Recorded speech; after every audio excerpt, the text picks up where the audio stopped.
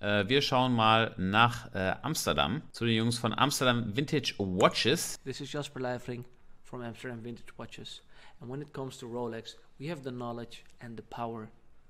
However, we made up a list of 10 Rolex models you probably never heard of. Number 10. And we're starting with number 10. Back in the 50s, Rolex produced the Zephyr. Now, this model is not known for its beautiful looks. Also die kickt mich jetzt noch nicht so sehr, aber wir gucken mal weiter. Nächste Uhr. Jetzt kommen wir bitte nicht mit einer Rolex Date. On number 9, we're talking about three reference closely related 1530, 1630, and 1831. These watches really look the oyster quartzes Okay. that we really love. Actually, we love the design. We do not love the battery powered movements. Luckily, the 1530 and the 1630 aren't battery Boah, Alter, die ist aber gut gerockt, die Uhr, ne? Da, da hat aber jemand sich richtig Mühe gegeben, ey. Uiuiui. They're automatic movements, but already have the looks of the quartz watches. Ernesto, this du was sagst before es, quartz watches were ever produced, therefore making it very rare. Discontinued shortly after its introduction, as Komm, Alter, da muss aber noch ein bisschen mehr kommen. later on for quartz pieces only. The 1530 is around 10,000 euro, which is double the price of the 1630. Normally, the Datejust models are more expensive. However, the 1630 is only available getragen. bicolor gold and steel, Genau. while the Date is only in steel with the stylist oyster bracelet. On the 1630, we can only find a Jubilee bracelet. We have to mention the 1831, which is like the day-date version of it. Only eight pieces have probably ever been produced for the Shah of Persia. Ah, okay. It is guessed to be one of the Stellar Dial, das, äh, jetzt rede ich auch schon Englisch. Äh, das ist ein ähm, Emaille-Ziffernblatt aus, wahrscheinlich sieht aus 70er, ne? Das ist Crystal, ja. most heavy Rolex models in history, only made in platinum and with a current Platinum. market value of around 300,000 euro. That's quite different than the 10k or the 5k that we see as a price tag on the date or date just. Number Alter, die Uhren sind echt. 8, the King Midas. We find some Gerald Genta design back at number 8 in this list. The King Midas was only made in gold. As King you can guess Midas. This model name. It was based on the shape and also the name was taken from Q7V6R, This model ähm, um, first saw light in the 70s das and frage has ich mich gerade auch. bracelet, which Gerald Genta obviously is known for. Back then, it was one of the most expensive models and a favorite of the king of rock and roll, Elvis Presley. Also, it's the only watch Ah. featuring its model name on the side of the case. Let's Tatsache. not take into account the Yachtmaster tomb, which is hella ugly, that has its name on the bezel. However, the King Midas is cool, and the current market value is around 15k for a nice conditioned piece. It's JK. Meine Oma hätte das aus Versehen aus, in den Müll geworfen. Oh Mann, Alter. Aber was haben wir jetzt? Was haben wir jetzt? Das ist Bubbleback, oder? Ne, Precision. Air, Air, was? Air Tiger, okay. Number seven, the Air Schwede. Tiger, the Air Lion, and the Air Giant. Might sound familiar because you know the Air King, a model that has been in production for Air Tiger ist schon ein geiler Name.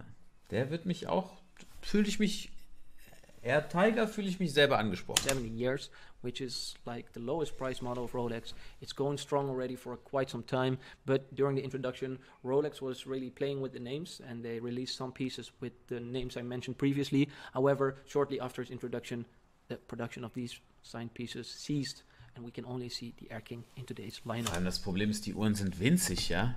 Also ich sag mal, so eine 36er kann man ja noch rocken, eine 36er Datejust, aber die Uhren sind noch 34 mm, oder? Current market value, however, Wer soll die denn tragen, ey? Was trägt er eigentlich heute? Platz Nummer On 6, number ey. Jetzt muss aber gleich so eine Kurve äh, kommen, ne? No, no front. we find a very elegant Rolex dress watch. Mark, der Air Tiger. Ey, das könnte man. Och Mann. Gott sei Dank ist nur Wasser. Das könnte mein neuer Spitzname werden. Äh, Air Tiger. Jetzt habe ich mich voll gemacht. name is very flat and very slim. And as the model name might suggest, we are talking about a very flat Rolex watch. The very flat was produced with a superlative chronometer certified movement, manual winding in a oyster case 36 mm with a small second set. Ey, weißt wisst ihr, was auch krass wäre, wenn ich einfach die Geschwindigkeit runterstelle? Ob wir das durchhalten? Ich mach's einfach mal. Auf 0,75. Ich probier's einfach mal. Very few were produced since the popularity really didn't catch. So I think it's probably because back then already Rolex was producing Mm. Tiffany. Retailed by Tiffany. top five. Rolex Tru-Beat 6556. Of course, we know the sweeping seconds of Rolex when the quartz movement were introduced, right? Well, not really. 15 years before, Rolex managed to make an automatic movement, but with a ticking seconds. They introduced a special model that created this ticking seconds. It's a very special watch produced in a very small quantity, muss sagen, die Uhr finde ich jetzt ganz schön. Die Uhr finde ich, ist okay. Ist okay. limited batch, probably made for doctors because it was easier to measure your heart rate. When you see a piece like this, and we have one, you know it's going to be very special. And the price of them are between 15 and 20,000 euros. What? 15 bis 20 Mille? Nee, Mann. Nee, du. Number four, the Rolex Commando. Very notable is the 369 on the dial, something that we know from the Explorer, of course. And by the time of introduction, early 1970s, we already had the 1016.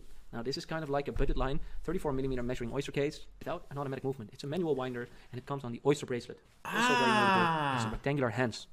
After one year, Manual wind. production, Das making ist der very Unterschied. model. Das market value Wo ist deine nette Frau? Mal, ohne Witz, das frage ich mich auch. Hier vorne ist der Laptop. Eigentlich sollte sie Artikel reinstellen. Ich kann gleich mal gucken gehen, also.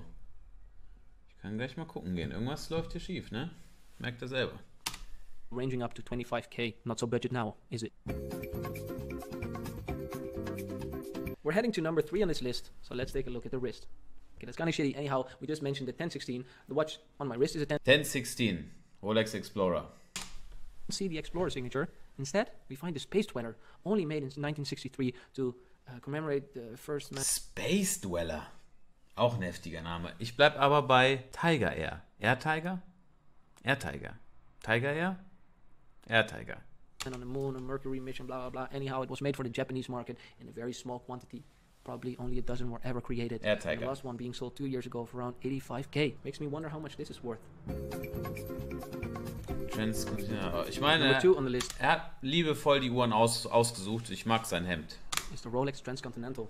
Now, this is actually the only watch that I've never Er heard of before making this list, and it actually inspired me to do this list since it popped up a few days ago on the interwebs by Eric Ku, who purchased this interesting Datejust with this weird signature. But that's not the only thing. The watch bears its own reference, number 6602, and having this strange bezel, bidirectional turning piece. It's a very cool watch. I cannot say anything about the value since this is the only watch I've ever saw, and none of them have been publicly sold. But I guess it will go up to the six-figure numbers. Anyhow, it's a cool piece, ref 6602, Rolex Datejust Transcontinental. Now, how's that for rare? Yo, let's get freaky, Alter. Was geht denn hier ab? Zero Graph. Alter, was schreibt er denn für Uhren aus, ey? Ja, ich meine, die hatte was. Also, ist halt speziell, ne? It is the Rolex Zerograph 3346. This watch saw light in 1937 and was maybe even made as a test. It houses its first manual winding chronograph movement and also has a big honor to have the first bidirectional turning bezel. One pusher, 32 millimeter measuring. So eine schöne 32 mm Uhr. We see different configurations. The last one being sold by Philips Auctions with the California dial in black, fetched 350k. Oh, Alter, das ist heftig. 300 Mille, Alter, 350.000 Dollar. Das ist eine Menge Geld für so eine Uhr. We got a bonus round for you guys. It's the Rolex Oyster LED, which looks kind of similar to the Dated, however, having a LED indication.